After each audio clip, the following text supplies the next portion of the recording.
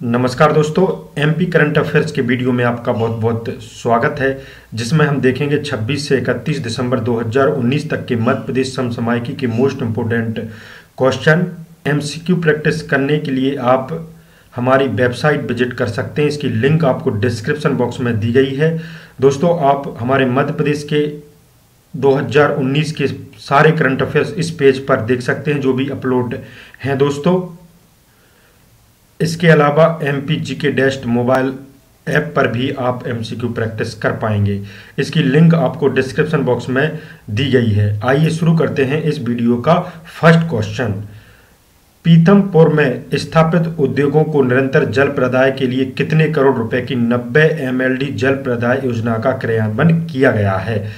ये जो industry area है आपका इंदौर के अंतर्गत पीथमपुर में उसमें कितने करोड़ की लागत की जो है 90 एम जल प्रदाय योजना संचालित है? वह है लगभग 290 करोड़ रुपए की, यानी 290 करोड़ की। इसके अलावा पीथमपुर में 300 करोड़ से जो है वो तीन, चार सौ पैंसठ हेक्टेयर क्षेत्र में स्मार्ट इंटीग्रेटेड इंडस्ट्रियल पार्क का विकास किया गया है। इसमें उद्योगों को भूमि आवंटन किया जा रहा है।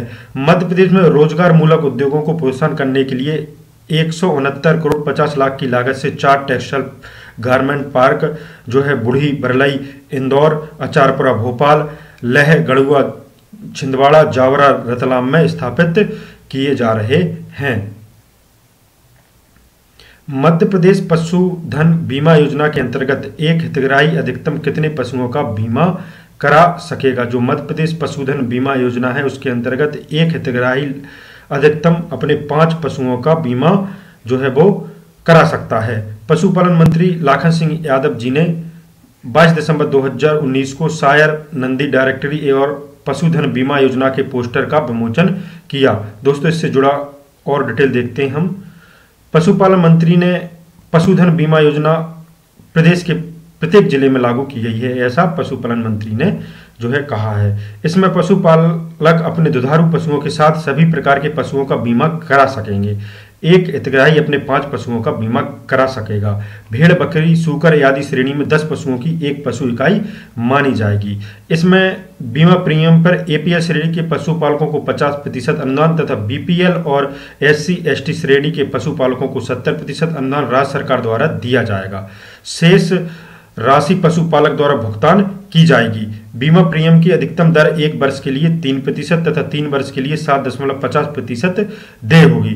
बीमा न्यूनतम एक वर्ष तथा अधिकतम तीन वर्ष के लिए किया जा सकता है पशुधन बीमा योजना के अंतर्गत। पारधी जाति मध्य प्रदेश के कितने जिलों में अनुसूचित जाति में आएगी? संपूर्ण हमारे मध्य प्रदेश में ऐसे कितने ज़िले होंगे जिसमें पारदी जाति जो है वो एससी कैटेगरी में आएगी? तो ऐसे ज़िले बढ़कर अब हो गए हैं 21 टोटल 21 हो चुके हैं। अभी इसमें पाँच नए, अभी नए शामिल किए गए हैं पाँच ज़िले, जिसमें अशोकनगर, अलीराजपुर, बड़वानी आगरमालवा नीमच आते हैं। उल्लेखनीय है कि वर्ष उन्नीस में मध्य प्रदेश के मंदसौर ज़िले की सीमा में परिवर्तन करके नीमच जिला बनाया गया है। इसी तरह गुना से अशोकनगर, झाबुआ से अलीराजपुर, खरगोन से बड़वानी, शाजापुर से आगरमालवा बनाया गया था। जो इन जिलों में जो है वो पारधी जो जाति है वो एससी कैटेगरी में आएगी। दूसरे राज्य के सामान्य व्यक्ति द्वारा मध्य प्रदेश की दिव्यांग व्यक्ति से शादी की जाती है तो सरकार कितने लाख रुपए प्रोत्साहन राशि देगी? ऐसा कोई भी व्यक्ति, सामान्य व्यक्ति होगा जो अपने मध्य प्रदेश से दूसरे राज्य का होगा ऐसे दो लाख रुपए की जो है वो राशि दी जाएगी शासन द्वारा। मध्य प्रदेश सरकार निशक्त विवाह प्रोत्साहन योजना के तहत उसे नगद राशि देकर प्रोत्साहित करती है। इस योजना में चालीस फ़ीसदी या उससे ज़्यादा दिव्यांगता होने पर पात्रता होती है। नए संशोधन के तहत दूसरे राज्य के सामान्य व्यक्ति द्वारा प्रदेश के दिव्यांग व्यक्ति से शादी की जाती है तो सरकार दो लाख रुपए प्रोत्साहन राशि देगी, जबकि प्रदेश के दिव्यांग युवती की शादी राज्य के बाहर दिव्यांग युवक से होती है तो ऐसे जोड़े को एक लाख रुपए प्रोत्साहन की राशि जो है वो दी जाएगी दोस्तों। इसमें यदि दोनों दिव्यांग हैं, दूसरे राज्य के दूसरा राज्य का जो करने वाला व्यक्ति है, शादी करने वाला व्यक्ति है तो वह भी दिव्यांग है तो उसे केवल एक लाख रुपए की जो है वो प्रोत्साहन राशि दी जाएगी। मध्य प्रदेश सरकार द्वारा आपदा प्रबंधन निधि से कितने प्रतिशत की ब्याज दर पर स्वयं सहायता समूह को वित्तीय सहायता उपलब्ध कराई जाएगी दोस्तों? तो ये जो कराई जाएगी इसमें, ये आंसर आपका निकल के आ जाएगा चार प्रतिशत। इसमें चार प्रतिशत जो है वो की दर से वित्तीय सहायता उपलब्ध कराई जाएगी। इसमें स्वयं सहायता समूह के आंतरिक ऋण की दर जो है वो अभी वर्तमान में 24 प्रतिशत से घटाकर 12 प्रतिशत कर दी गई है। जो स्वयं सहायता समूह होते हैं, उनमें ऋण ऋण अगर लेता है वो समूह तो 24 प्रतिशत वैसे दर लगती है, अब घटाकर 12 प्रतिशत कर दी गई है। उत्पादक समूह का गठन कर विभिन्न योजनाओं की संस्थाओं से प्राप्त राशि को एक संयुक्त कोष बनाकर जाकर समूह को शून्य प्रतिशत ब्याज दर पर तीस हज़ार रुपए प्रति सदस्य के मान से ऋण उपलब्ध कराया जाएगा, दोस्तों।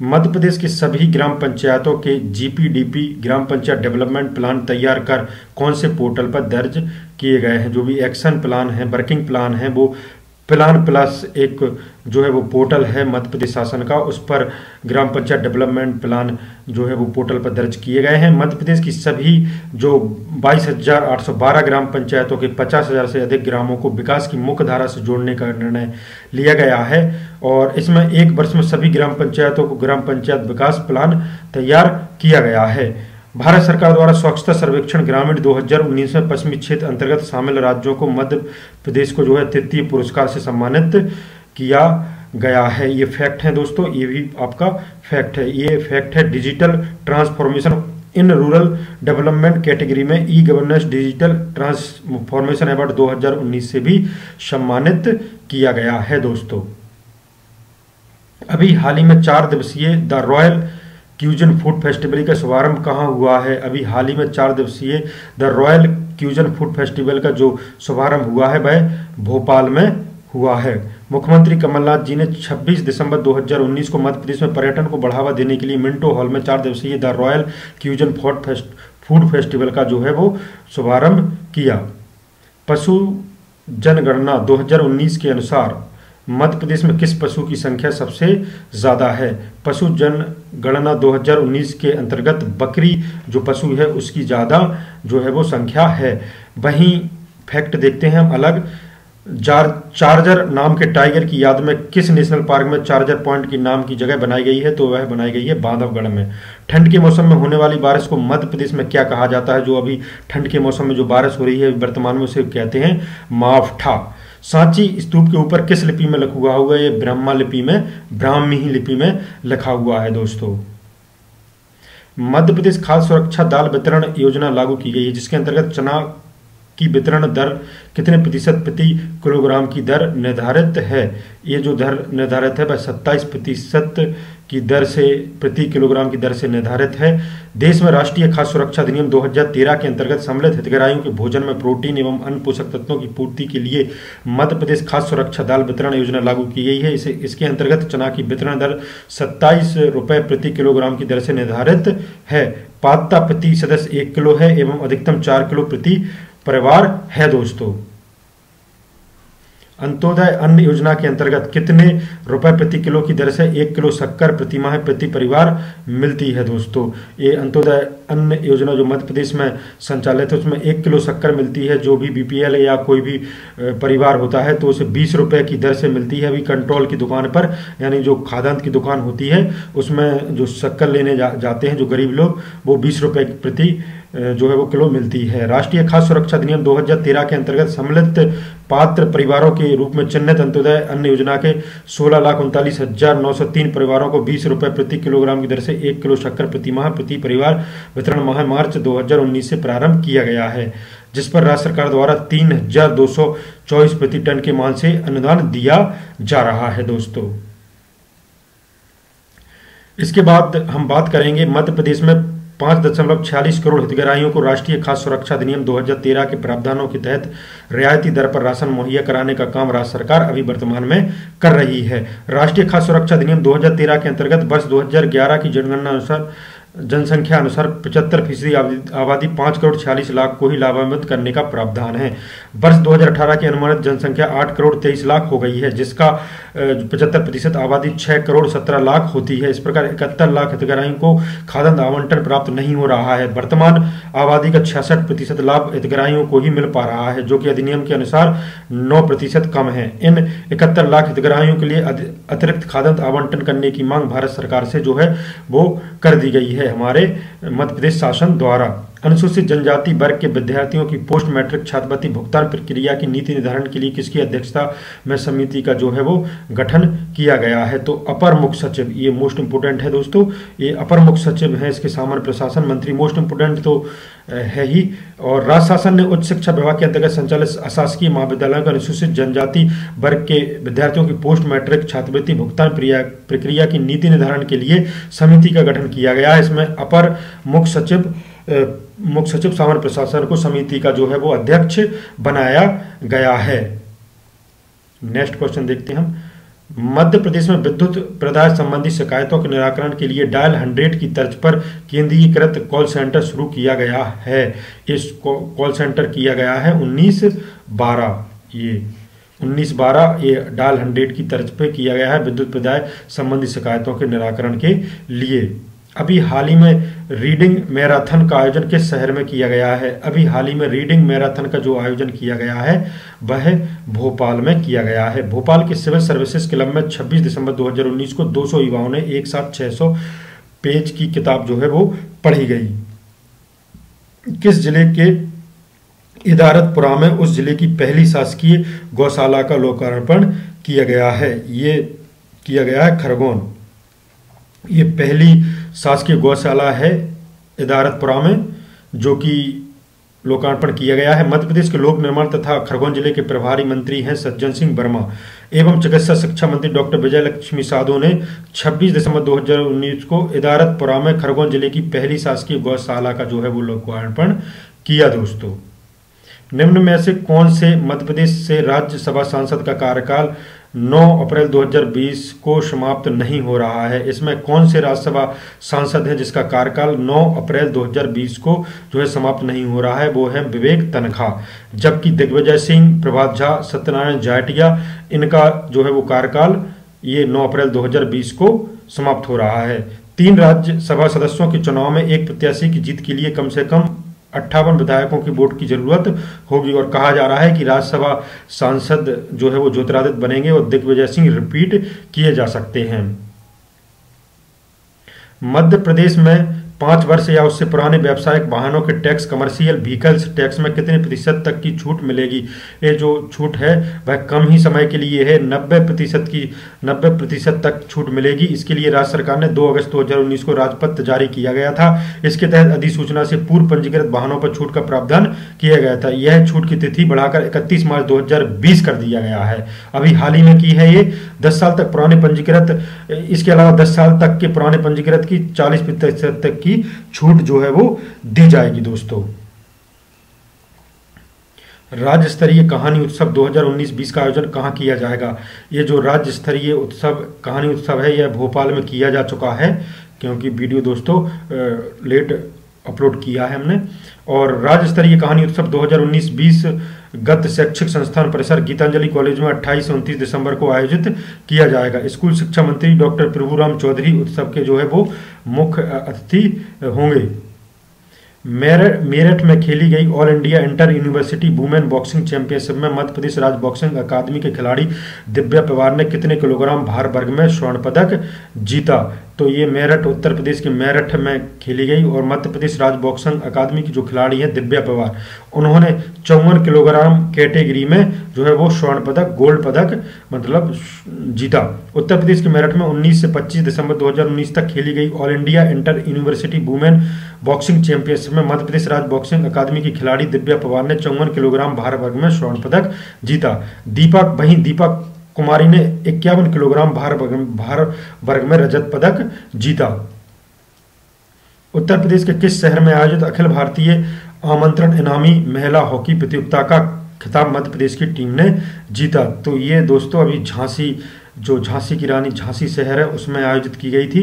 उत्तर प्रदेश के झांसी में 22 से 27 दिसंबर 2019 तक आयोजित अखिल भारतीय आमंत्रण इनामी महिला हॉकी प्रतियोगिता में मध्य प्रदेश राज्य महिला हॉकी अकादमी की खिलाड़ी बेटियों ने शानदार प्रदर्शन करते हुए फाइनल मुकाबले में महाराष्ट्र को दो ज़ीरो से सशक्त देकर दो लाख रुपए की प्राइज मनी वाला खिताबी मुकाबला जीतकर मध्य प्रदेश का परचम फहराया, दोस्तों। धार में दो दिवसीय भोज उत्सव का शुभारंभ कब किया गया? धार में जो दो दिवसीय भोज उत्सव है, वह 29 दिसंबर 2019 को इसका शुभारंभ किया गया है, मंत्री सज्जन सिंह वर्मा जी द्वारा। किलों के शहर मांडवगढ़ में पाँच दिवसीय मांडू फेस्टिवल कब शुरू हुआ है? जो मांडू उत्सव है। वह आपका 28 दिसंबर 2019 को शुरू हुआ है। ये मध्य प्रदेश की ऐतिहासिक और सांस्कृतिक विरासत को संजोए धार ज़िले के किलों का शहर मांडवगढ़ में पाँच दिवसीय मांडू फेस्टिवल 28 दिसंबर 2019 को शुरू हुआ, जो एक जनवरी 2020 तक जो है वो चला। दोस्तों, संस्कृति मंत्री डॉक्टर विजय लक्ष्मी साधो और पर्यटन मंत्री सुरेश सिंह बघेल ने फेस्टिवल का शुभारंभ किया। इस बार यह फेस्टिवल खोजने में खोजाओ सोच पर आधारित है। खोजने में खोजाओ सोच पर आधारित है। सरकार ने जय किसान फ़सल ऋण माफ़ी का दूसरे चरण का शुभारंभ किस ज़िले से किया है? तो सरकार ने जय किसान फ़सल ऋण माफ़ी का दूसरे चरण का जो अभियान का शुभारंभ किया है, वह भिंड ज़िले से किया है। भिंड ज़िले से किसानों की ऋण माफ़ी के दूसरे चरण की शुरुआत सहकारिता एवं संसदीय कार्य मंत्री डॉक्टर गोविंद सिंह ने 28 दिसंबर 2019 को ही, जिसमें पचास हज़ार रुपए से लेकर एक लाख रुपए तक का ऋण जो है, वो कृषि ऋण माफ़ किया जा रहा है। दोस्तों, पचास हज़ार से एक लाख रुपए तक का। भोपाल की बड़ी झील के पास स्थित ब्रिज एवं रिटर्निंग बॉल पर कितने किलोग्राम क्षमता के सौर संयंत्र की स्थापना की गई है? ये भोपाल की बड़ी झील के पास स्थित ब्रिज एवं रिटर्निंग बॉल पर जो है 500 किलोवाट 500 किलोवाट क्षमता की सौर संयंत्र की स्थापना की गई है। स्मार्ट सिटी उज्जैन स्थित वाटर ट्रीटमेंट प्लांट में 1200 किलोवाट जो है वो क्षमता का सौर संयंत्र की स्थापना की जा रही है। ये स्मार्ट सिटी उज्जैन के स्थित वाटर ट्रीटमेंट प्लांट में 1200 ये अलग फैक्ट हो जाता है आपका। मध्य प्रदेश का कौन सा टाइगर रिज़र्व देश में सबसे अधिक शाकाहारी घनत्व वाला पार्क है मानक? टाइगर रिज़र्व है। तो ये है पैंच टाइगर रिज़र्व।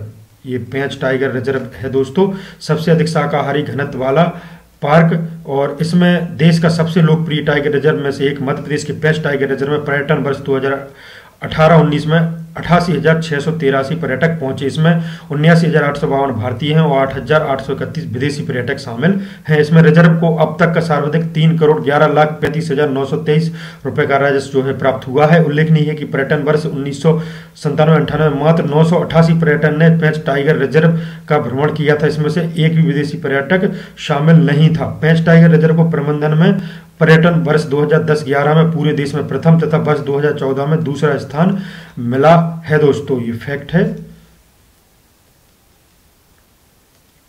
मध्य प्रदेश के किस ज़िले में बाँस आधारित उद्योग में 500 हेक्टेयर में बाँस लगाए जाएँगे? मध्य प्रदेश के जो है वो छिंदवाड़ा।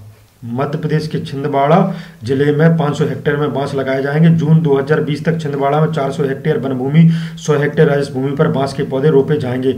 छिंदवाड़ा 500 हेक्टेयर में बैम्बूसा टोल्डा प्रजाति का बाँस लगाया जाएगा। डॉक्टर संजय शुक्ला संचालक मध्य प्रदेश राज्य बाँस मिशन के हैं आपके। डॉक्टर संजय शुक्ला। बासानिया परियोजना से कौन से ज़िले लाभान्वित होंगे? बासानिया सिंचाई परियोजना से जो है वो डिंडोरी और मंडला जो है वो ये ज़िले लाभान्वित होगी, इसकी प्रशासकीय स्वीकृति जारी कर दी गई है और राघवपुर परियोजना की जो सिंचाई क्षमता है वो छब्बीस हज़ार हेक्टेयर है। इसका लाभान्वित जिला आपका जिला डिंडोरी है। वहीं बसानिया का सिंचाई क्षमता आठ हज़ार चार सौ अस्सी हेक्टेयर जिसका लाभान्वित जिला डिंडोरी एवं मंडला है दोस्तों। वहीं शक्कर परियोजना सिंचाई क्षमता चौसठ हज़ार हेक्टेयर इसमें लाभान्वित जिला आपका नरन सिंहपुर है। चिंकी बोरास परियोजना सिंचाई क्षमता तेरह एक लाख इकतीस हज़ार हेक्टेयर है। इसका लाभान्वित जिला नरसिंहपुर एवं रायसेन है। हांडिया बाँध परियोजना लाभान्वित सिंचाई क्षमता का पच्चीस हज़ार हेक्टेयर जिला जो है वो हरदा है दोस्तों। अपर बेदा, ये ये अपर वेदा सिंचाई परियोजना है। ये खरगोन ज़िले के झरनिया तहसील के गाँव नेमती में यह परियोजना का निर्माण किया गया है। राज्य शहरी आजीविका मिशन योजना में वर्ष 2019 में हितग्राहियों को प्रशिक्षण दिया गया है। दोस्तों, आपके एम के जो है प्रैक्टिस हम कम ही अपलोड कर पाए, लेकिन अब जितने टाइम बचा है आपका तो हम अधिक से अधिक जो है वो प्रैक्टिस अपलोड करने की कोशिश करेंगे।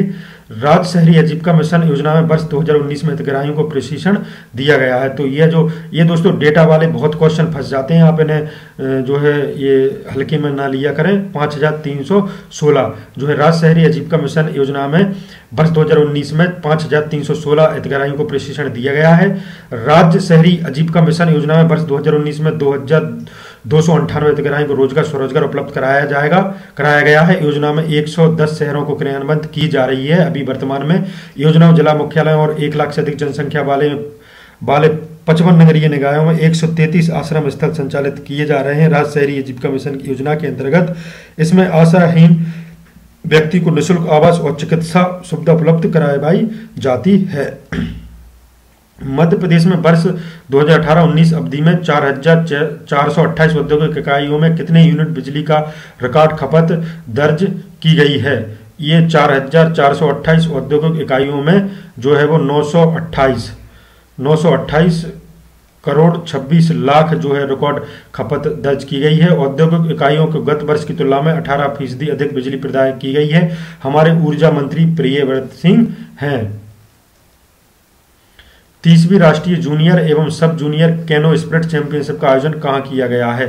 तीसवीं राष्ट्रीय जूनियर एवं सब जूनियर कैनो स्प्रिट चैंपियनशिप का आयोजन किया गया है, जो भोपाल में किया गया है। भोपाल में आयोजित तीसवीं राष्ट्रीय जूनियर एवं सब जूनियर कैनो स्प्रिट चैंपियनशिप में बाटा स्पोर्ट कयाकिंग कैनोइंग खिलाड़ियों ने उत्कृष्ट प्रतिभा प्रदर्शन का 33 मेडल जो है वो मध्य प्रदेश को दिलाए। इसमें से नौ स्वर्ण पंद्रह रजत, नौ कांस्य पदक शामिल हैं। चैंपियनशिप के जूनियर बालक और बालका वर्ग में मध्य प्रदेश के विजेता का जो है वो खिताब अर्जित किया है। मध्य प्रदेश में पहली बार किस सरकारी अस्पताल में लकवाग्रस्त मरीज़ का सफल ऑपरेशन किया गया है? ये दोस्तों क्वेश्चन जो है वो, ये पहला कौन सा सरकारी अस्पताल है जिसमें लकवाग्रस्त मरीज़ का सफल ऑपरेशन किया गया है? यह जबलपुर का super specialist, super speciality hospital. Madhya Pradesh में पहली बार सरकारी अस्पताल में लकवाग्रस्त मरीज़ का सफल ऑपरेशन किया गया है। यह अस्पताल जबलपुर का सुपर स्पेशली हॉस्पिटल है। 45 वर्षीय मरीज़ अशोकपुरी गोस्वामी को दाहिनी तरफ़ लकवा और बोलने में तकलीफ़ के कारण जबलपुर के नेताजी सुभाषकंड सुभाष मेडिकल कॉलेज के शासकीय चिकित्सालय में भर्ती कराया गया था। तो इनको जो है वो सफल ऑपरेशन किया गया है। और दोस्तों, हम बात करेंगे जो आपसे पिछली बार क्वेश्चन पूछा गया था कि मध्य प्रदेश में एकमात्र पशुधन बीरी संसाधन संसा, संस्थान कहाँ स्थित है? संसाधन नहीं, संस्थान कहाँ स्थित है? तो ये आपके द्वारा जवाब दिया गया है बिल्कुल सही जवाब दिया गया है। भोपाल है, अक्सर लोगों ने भोपाल ही दिया है दोस्तों। और मध्य प्रदेश, सबसे पहले हम आपको बता दें कि यदि आपको वीडियो अच्छा लगता है तो आप लाइक ज़रूर कर दिया करें। वैसे आपके द्वारा लाइक किया जाता है। तो मध्य प्रदेश सरकार द्वारा अधिवक्ता दिवस के रूप में किस दिवस को मनाने का निर्णय लिया गया है? एक, दो, तीन, चार दिसंबर में से एक आंसर आपका सही है और इसका आंसर आपको कमेंट करके बताना है दोस्तों। और हम आपको बता दें जो कि आपके एमपी करंट अफेयर्स है, वो उसके सारे 2019 की जो एमसीक्यू प्रैक्टिस है, वो हमारी वेबसाइट पर अपलोड हो हैं और एक दो माह के नहीं हैं, वो जल्दी अपलोड हो जाएँगे। मतलब पाँच पाँच तारीख से पहले कर देंगे दोस्तों, क्योंकि आपके एमपीपीएससी का पेपर है। और और हमारा जो एक मतलब एक जनवरी 2020 से है, उसके भी आपको ऐसे एम प्रैक्टिस मिलते रहेंगे। और हमारा यह वीडियो देखने के लिए बहुत बहुत धन्यवाद दोस्तों। Thank you